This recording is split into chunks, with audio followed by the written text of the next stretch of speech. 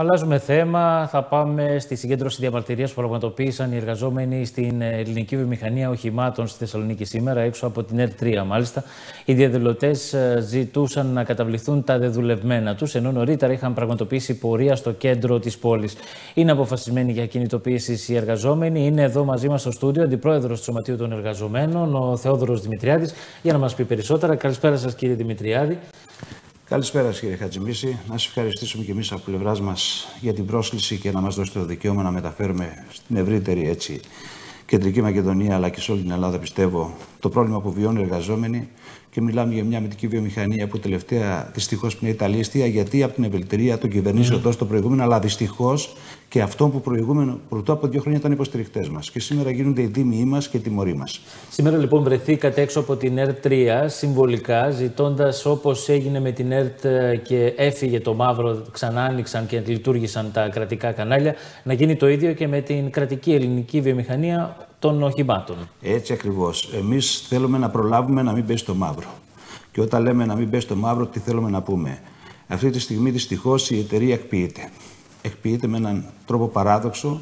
Δεν γνωρίζουμε πώς, πού και με ποιον και τι. Δεν έχουμε καμία ενημέρωση από πλευράς των υπευθύνων, mm-hmm. τόσο από πλευράς του Υπουργείου Οικονομικών που είναι ο καθήν αρμόδιος, αλλά τόσο και από τον κύριο, κύριο Κουρδάκη, τον εγκαθαριστή που έχει οριστεί από τις προηγούμενες κυβερνήσεις και συνεχίζει με τις προ...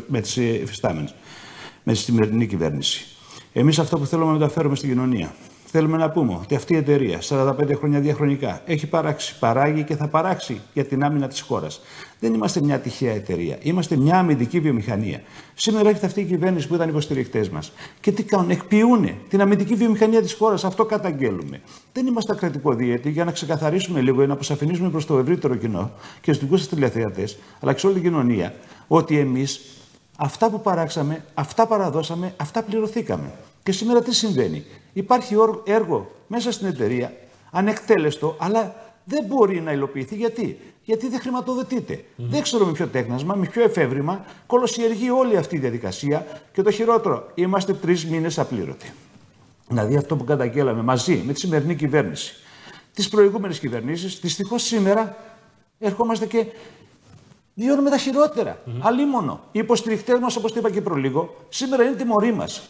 Εμείς τι θέλουμε; Να πάρουν τέλος πάντων την απόφαση και να μας πούνε τι ακριβώς θα κάνουν. Να σταματήσει η ομοιρία. Νιώθουμε όμοιροι.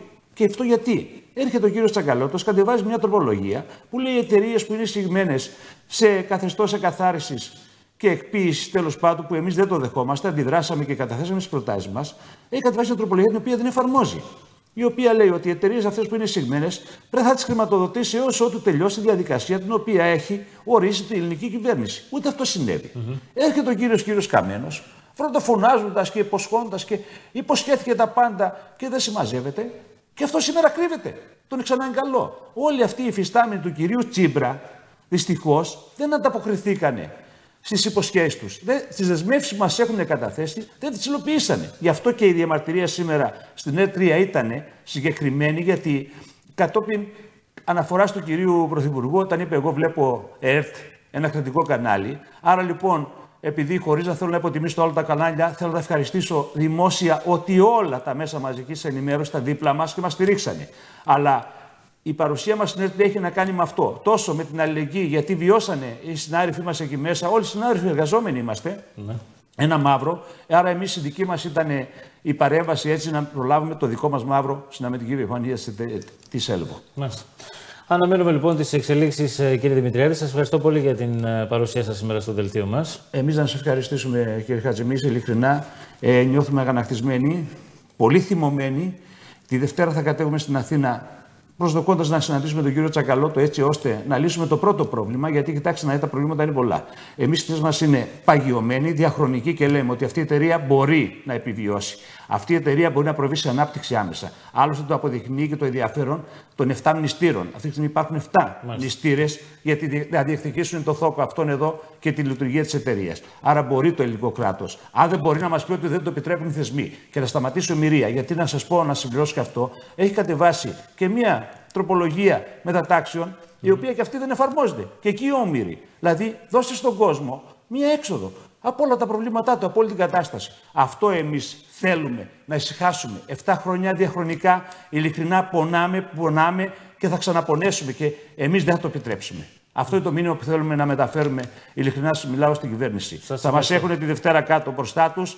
Θα το δούμε πώς θα το διαχειριστούμε λοιπόν, και πάμε στην συνέχεια να δούμε πώς θα το εξελίξουμε. Να είστε καλά. Γεια σας. Ευχαριστούμε πολύ.